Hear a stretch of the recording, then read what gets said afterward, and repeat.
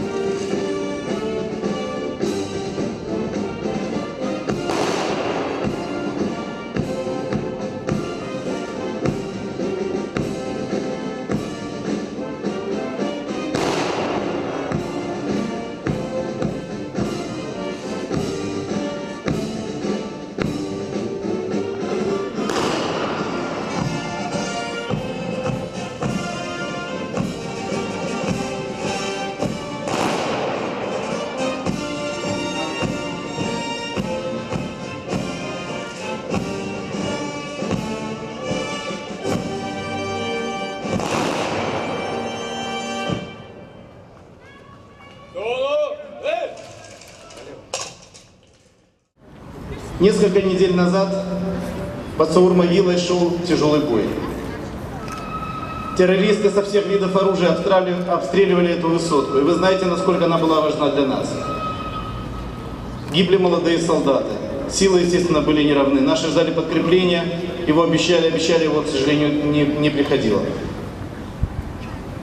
Но ребята не, не уходили со своих позиций, они стояли насмерть, они стояли отстаивали нашу с вами землю над ними развивался государственный флаг Украины. Обожженный, обстрелянный. Когда бой закончился, когда наконец-то пришло долгожданное подкрепление, с поля боя начали увозить раненых солдат. Один из солдатов из последних сил подошел к прапору, снял его и забрал с поля боя. Когда его привезли в Днепропетровск, молодого человека начали грузить скорую помощь. Он остановился, врачей сказал, одну минутку. И достал из-за пазухи обожженный флаг. Флаг был в его крови, простреленный, обожженный, опаленный войной. Последние слова перед тем, как потерять сознание, были «Сохраните этот флаг». Пожалуйста, сохраните этот флаг. Нам очень приятно, что именно сегодня, в день государственного флага, флаг, опаленный войной, простреленный вражескими пулями, окропленный кровью героя, этот флаг сегодня с нами.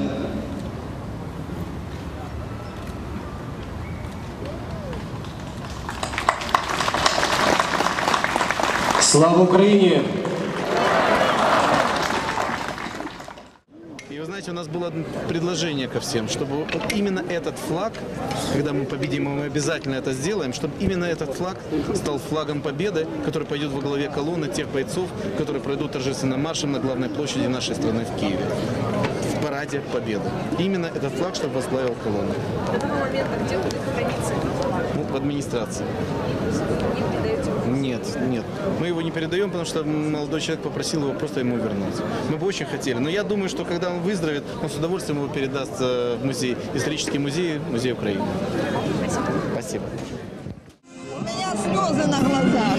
Почему? Да потому что такая Украина, мы должны радоваться и жить, а не сражаться, чтобы там умирали наши ребята, отцы и братья. Это потрясающе. Вы тут не видели? Вот такой маленький мальчик ехал на велосипеде с флагом, велосипедистов за, колонну замыкал. Потрясающе. Это просто, я не знаю, слава и нашим руководителям нашего города.